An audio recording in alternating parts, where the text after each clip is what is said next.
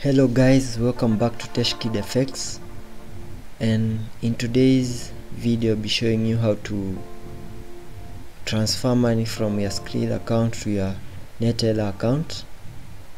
And what i have on the screen is my dashboard on neteller.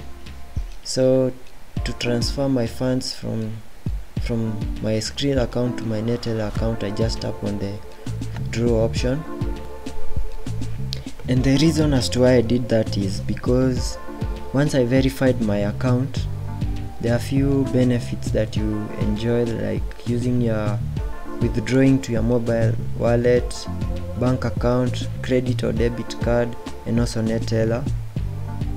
So those that have not verified their accounts it's good that you verify it so that you can enjoy this amazing feature so to to transfer money from my skrill account to my netel i just withdraw to my netel account. Then i enter the amount that i want to withdraw to my netel account.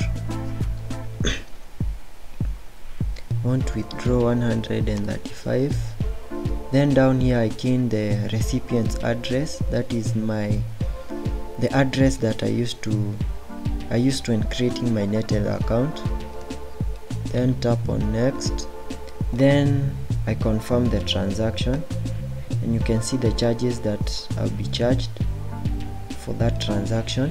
Then on confirming the transaction you should get a text message to confirm that you are the one initiating the transaction.